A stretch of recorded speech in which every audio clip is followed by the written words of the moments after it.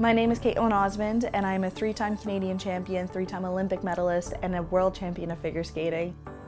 Now, I'm very long retired and I'm a student for media studies at the University of Alberta and I coach and choreograph figure skating across Canada.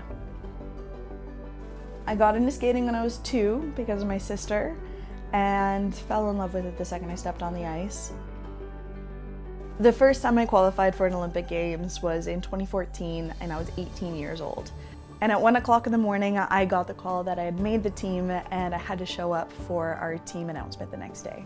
I walked into this massive stadium with thousands and thousands of people and that's when I clued in what the Olympics were. It was such an outstanding moment that I was like, you know what, I want to be back here again. My success didn't only come from me and actually a very small part of it was actually me. A lot of it was my sister for getting me into the sport and pretty much raising me as I was living with my coaches and my parents had to work a lot to be able to pay for the sport. So my sister raised me, my parents provided every single thing that they could. My coaches were there with me every step of the way. My coach, Ravi Walia, he taught me for 12 full years and he organized the rest of the team and support around me. I attribute my success to my community and my family and my team of supportive coaches. One of my biggest recognitions when I retired was I was honored with the Order of Newfoundland. The recognition in Newfoundland made me want to give back to the sport in any way that I possibly could, and that led me to coaching and teaching seminars across the country. My family and my coaches put a huge importance on my education to the point that if I missed school for any reason, I had to miss skating also.